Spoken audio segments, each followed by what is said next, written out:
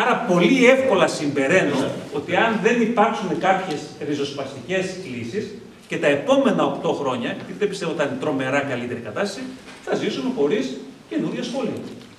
Δεν είναι κακό αυτό το πρέπει να το αποδεχτούμε. Αλλά να πούμε τόσο να ξέρετε ότι μαγικές λύσεις δεν υπάρχει σε τίποτα.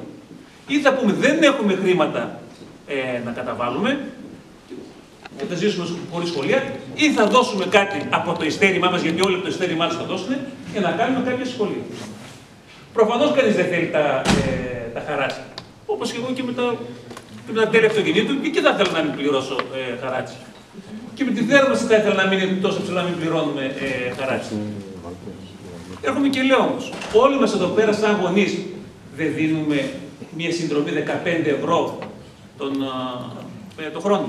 Δεν το κάνουμε για να δώσουμε μία ποιότητα, να καλύψουμε τρύπες της εκπαιδευτικής διαδικασίας που κανονικά θα έπρεπε να τα κάνει ο, το κράτος, ο Δήμος ή οποιοδήποτε. Άρα εμέσως έχουμε μπει σε αυτή τη διαδικασία το να προσπαθούμε να ενισχύσουμε την, ε, τους εκπαιδευτικούς και δραστηριότητές τους.